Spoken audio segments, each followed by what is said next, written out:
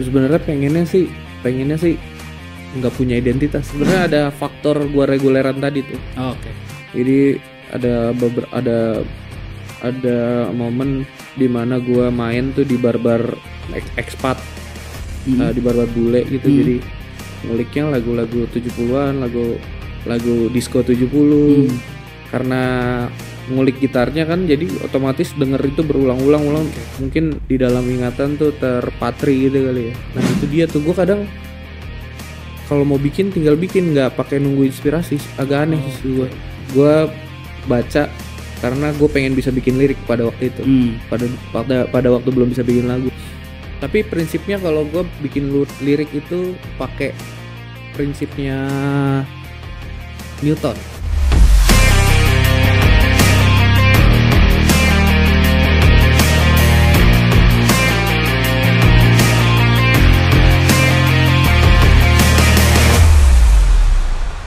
sahabat media Indonesia, kembali lagi di program Nunggu Sunset. Kali ini Nunggu Sunset kembali kedatangan musisi. Ini musisi pendatang baru nih, baru mengeluarkan karya pertamanya berupa EP tahun lalu. Judulnya Prosa Liris. Mungkin dari penamaannya aja kita udah bisa membayangkan eh, nuansa musiknya ya. Kalau saya bisa bilang sih mengingatkan kita pada era kejayaan musik pop Indonesia tahun 70 80-an. Mungkin kita langsung aja berbincang dengan orangnya. Nanti kita juga tanya apakah dia juga tumbuh dengan musik-musik Indonesia lawas. Eh, Krishna Trias. halo semuanya Makasih udah mampir ke Nunggu Sunset. nunggu buka Iya. Ini juga karena lagi bulan puasa bisa sambil nunggu buka ya orang Iya. nonton. Eh, jadi Krishna ini sebelum dia tampil sebagai solois gitu, de- eh, dengan proyek solo solonya ini, dia juga eh, produser. Ada beberapa penyanyi muda ya yang dia produseri. Yang saya tahu sih ada Dual Jailani, ada Tisa Biani, siapa lagi ya, Chris? ada ada Fionita ada Excel Ramanda Hmm. ada beberapa lagi gitu gitu ya. Eh mungkin pertama yang ingin gue tanya, jadi lo sekarang masih aktif jadi produser atau udah 100% eh, jadi musician? dua-duanya masih beriri Masih beririsan beriringan. lah, masih beriringan lah karena kalau eh, produser itu kan eh, apa ya namanya ya bikin musik tuh hobi juga salah Hmm. satu hobi juga jadi kalau kadang suka jenuh juga kalau bikin musik buat sendiri Mm-mm. bikin buat orang ah gitu Udah berapa lama sih jadi produser? Ah, mulai mulai profesionalnya mungkin 2021 ya 2021 mulai mulai serius. Itu siapa tuh pertama? pertama Excel Ramanda. Excel. terus ada mungkin habis itu ada siapa ya? Excel ada Fionita Siombing tuh eh, eh, penyanyi cewek. Terus ada Deborah Hana juga ada tuh. Terus ada Barudul sama Tisa tuh. Tisa juga ada bikin satu lagu. Hmm. Jadi pertama kali lu terjun ke dunia musik ini sebagai produser atau sebelumnya juga udah ngeband nyanyi gitu? udah udah ngeband ngeband lah. Waktu waktu kuliah dulu sebelum lulus tuh eh, s- paginya kuliah malamnya main di kafe main malam gitu. Oh, buat main di reguleran, reguleran ya. ya, gitu. Bawain apa tuh mu- musiknya? reguleran bawain top 40 Ke party. top 40 lah ya ke- di akhir-akhir kemarin sih agak-agak agak-agak alternatif dikit ya karena udah agak bosan Hmm. udah sih paling reguleran terus eh, rekaman-rekaman lah cuman masih masih rekaman yang ah, seadanya Hmm. Gitu Itu bareng band atau sendiri? Ngeband dulu. Ngeband ya? iya ngeband tuh sebenarnya vokalisnya si X tahu Excel nggak nggak ya Excel yang Ra- Ramanda iya oh, dia Excel. yang ajang pencarian bakat. iya idol ya itu dia dulu dulu band saya band gue vokalisnya dia dulu Hmm. jadi bikin bareng sama dia lah terus habis dia masuk pencarian bakat bubar bandnya Hmm. dia bikin solo terus daripada gue ngapa-ngapain bikin solo juga gitu. Oke. Krisna kan ini pasti beda lah ya. eh, sebagai produser dan musisi kalau boleh dibilang produser belakang layar, eh, musisi tampil gitu ya. Apa sih yang memutuskan lo, oke gue juga mau deh tampil sebagai musisi gitu, mengeluarkan karya sendiri dan di pri- prison sendiri. Iya, awalnya nggak sengaja sih karena eh pertama kenal sama eh, beberapa apa namanya A&R label tuh sebenarnya buat ngirimin demo aja jadi bikin lagu kan di rumah bikin sendiri apa operate sendiri bikin musik sendiri nyanyi sendiri akhirnya kan. Nyanyi sendiri kirim demonya ke beberapa A&R label kan.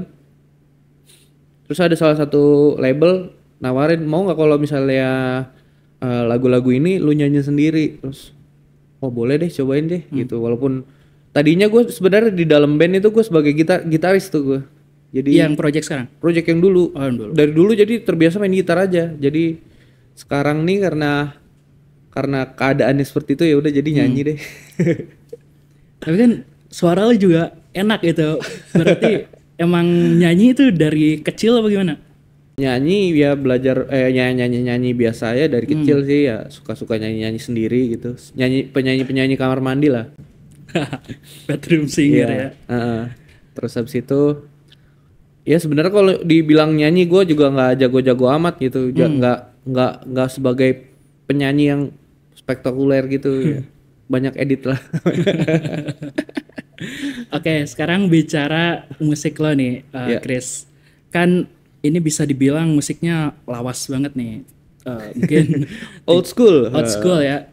Uh, 70, 80 kalau gua denger sih ya kayak denger uh, mungkin zaman Krisye atau ada beat-beatnya mungkin gue mengingatkan gue pada uh, Elvas gitu ya. itu Singer. eh apakah itu akan jadi identitas lo, Chris? Maksudnya ke depannya tuh lo akan jadi penyanyi dengan label oh ini Krishna Trias tuh membawakan musik-musik lawas. Se- sebenarnya pengennya sih pengennya sih nggak punya identitas Hmm. jadi eh, pengennya tuh eh, nggak mau ada eh, batasan-batasan genre itu jadi pengen Supaya coba bisa explore. iya supaya bisa explore tapi kayaknya untuk di dalam ini kan eh, EP gue ada lima lagu nih Hmm. pasti gue bakalan menutup lima lagu lagi untuk jadi full album dong Oke. Nah, dalam mungkin dalam album gua yang pertama ini akan nuansanya akan mirip-mirip seperti itulah. Mungkin gua akan mikir lagi gimana cara pem- pe- eh, pembedanya tuh di nanti di album keduanya nanti. Mungkin sekarang kan sound desainnya 70-an gitu, drumnya drum drum akustik Hmm. segala macam apa namanya mixing juga eh, jadul Hmm. 70-an mungkin di album kedua gue bikin vibe-nya 80-an bisa 90-an bisa ya nantilah tergantung gimana dapat wahyunya Hmm. Itu eh, supaya bisa terus explore ya. iya Nah ini bicara musik eh, lawas gitu ya Indonesia. Ini penasaran nih, apakah lu juga tumbuh dengan eh, musik-musik seperti ini dari kecil?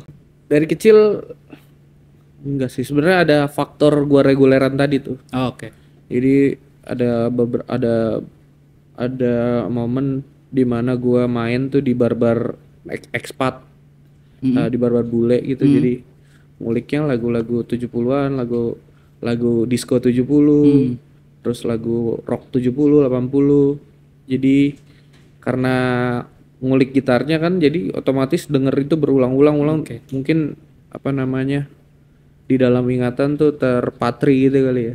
Gitu sih. Jadi nguliknya justru baru pas pas di reguleran reguleran itu ya? iya Karena kan gue denger eh, bokap lu kan seniman juga ya. seniman buka Itu berarti musik-musik lawas tuh nggak kalau bokap diracunin gitu. bokap spesifik sih dia fansnya dia dengernya kus plus doang Terus plus. iya kus plus jadi kalau ngomongin musik agak agak kurang tepat eh, kurang nyambung sama bokap kalau ngomongin musik lagu Hmm. gitu Tapi dari kecil berarti eh, awal-awal lu terpengaruh musik tuh dari siapa? terpengaruh musik dari siapa ya? Dari mungkin dari kak- kakak ya. Kakak dulu kan um, gua masih SD dia udah SMA dia udah apa? SMA kan zaman ngeband main gitar. Di rumah ada gitar, ada gitar elektrik, ada gitar akustik. Terus dari situ sih mungkin kepengen kepengen belajar main. Sampai sekarang terus keterusan. Lihat kakak dulu bawain apa tuh? Oh dulu kakak bling, wah dia pang, Popang-popang ya. Heeh. bling terus ya pang pang gitulah dia. Hmm. Oke. Kalau gue nggak nggak nggak sekeras itu kayaknya. Makanya juga keluarnya kayak gini. Iya. Eh, nah sekarang bicara proses kreatif nih Chris. Ya. Eh, lo kalau bikin lagu itu di mana sih? Bikin lagu di studio. Di studio ya? langsung langsung. Biasanya gue megang komputer bikin program terus baru udah mulai langsung tuh. Tapi dari ins- nol. inspirasi-inspirasinya dari mana sih? nah itu dia tuh. Gue kadang kalau mau bikin tinggal bikin. Nggak pakai nunggu inspirasi. Agak aneh sih gue jadi kadang ada yang ada yang datang lagi misal lagi di kamar mandi atau lagi naik motor lagi nyetir tuh ada tuh nada-nada yang yang Hmm. lewat gitu terus gue rekam pakai ini aja voice note nadanya Humming gitu?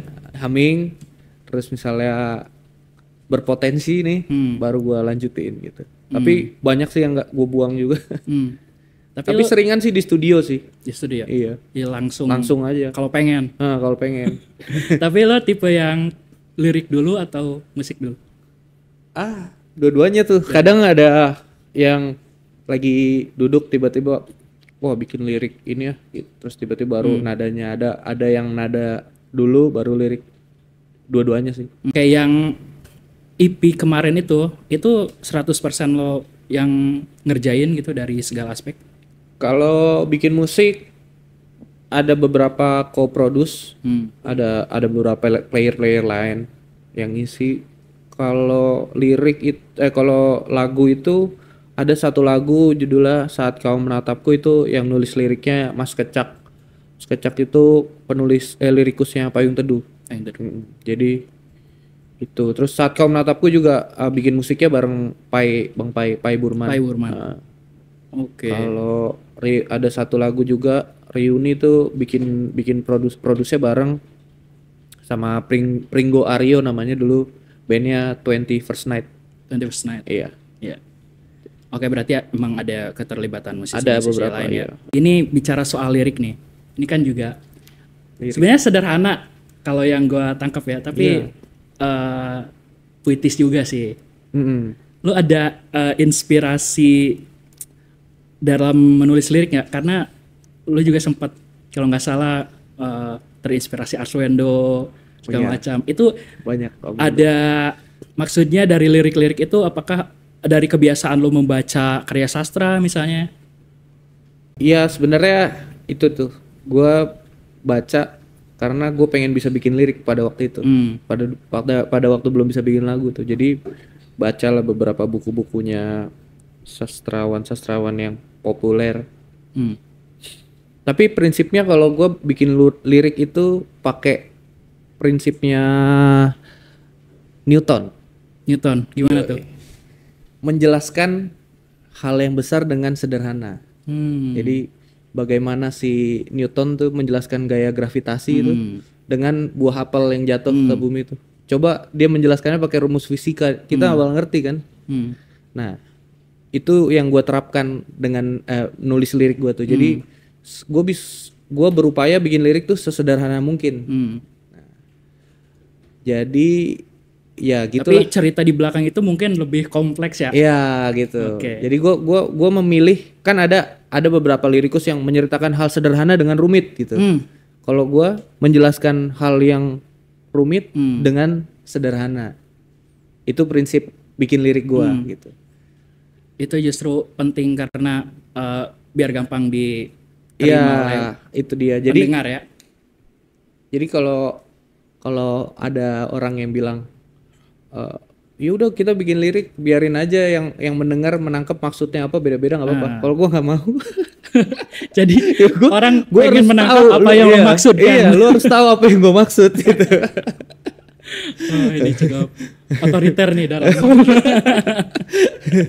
Eh, katanya proses penggarapan IP ini memakan waktu sampai 2 tahun nih.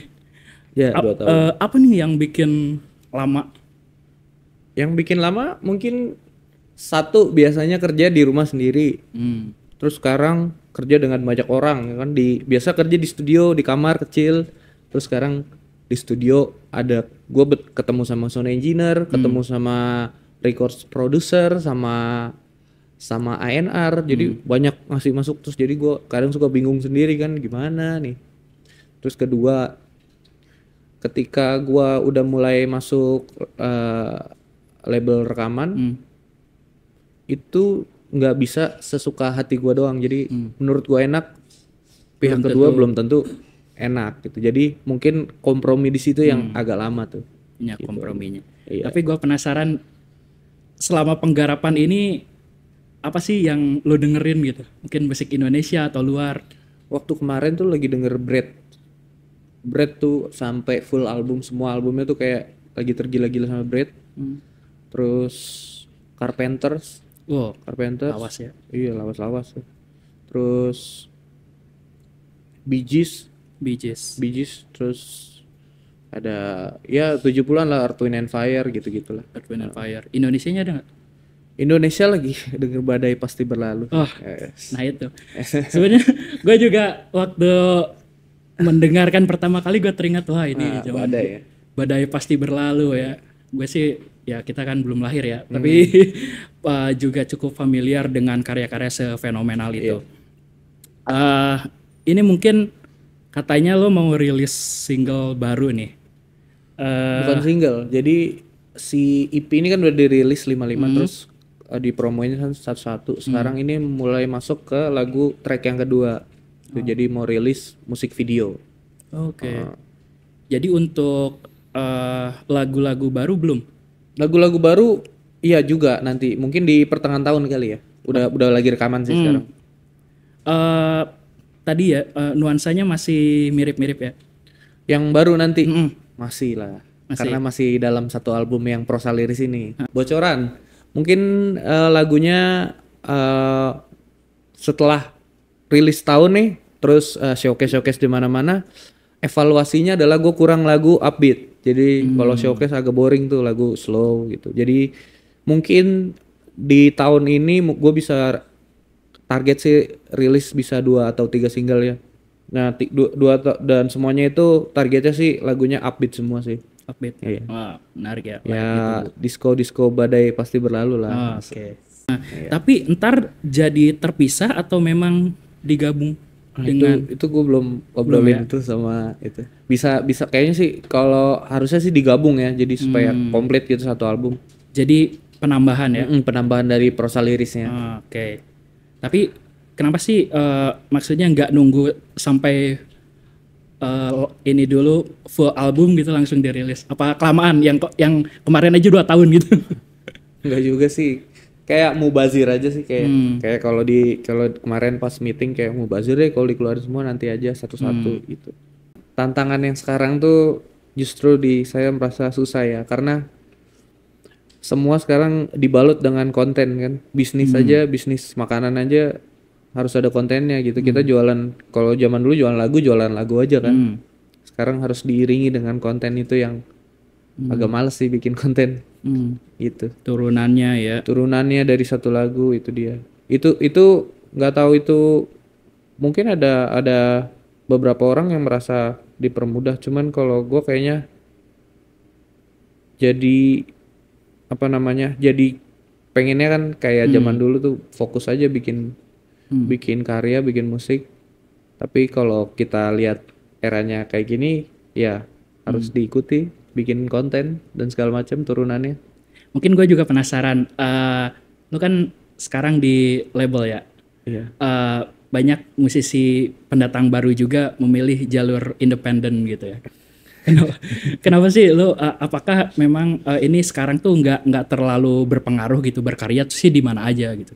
betul sih itu itu betul tuh nggak berpengaruh nggak begitu berpengaruh karena ber- di mana aja cuman apa ya pertimbangannya ya waktu itu ya gua kalau nggak ada pihak ketiga atau pihak kedua tuh males-malesan. Jadi Hmm, nggak ada jadi yang tuh. ngurus ya, nggak ada yang ngurus. Eh, bikin album udah pengen dari kapan tahu ya akhirnya baru Hmm. terlaksana kemarin gitu. Diintar-intarin jadi bikin lagu sendiri ntar ada job masuk kerjain yang lain. Bikin lagu sendiri ntar ada job masuk lagi kerjain yang lain gitu. Deh. gitu selalu gitu. Hmm.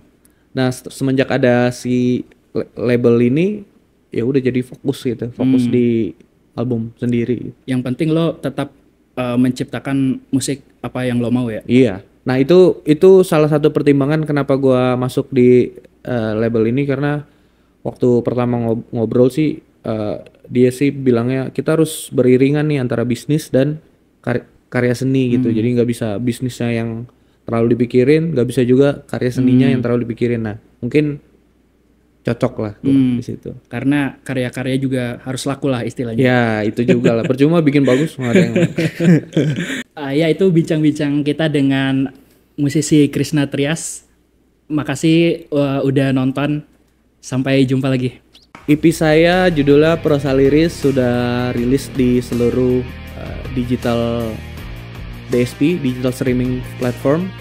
Uh, satu lagu judulnya Pelipur Lara sudah tayang. Musik videonya sudah ada di Aquarius Musik Indo 22 Maret akan tayang musik video yang judulnya Kota Kecilku. Nah, Kota Kecilku ini menceritakan tentang kerinduan akan kampung halaman. Jadi eh, tepatlah menurut saya tepat jika dirilis menjelang mudik lebaran. Terima kasih.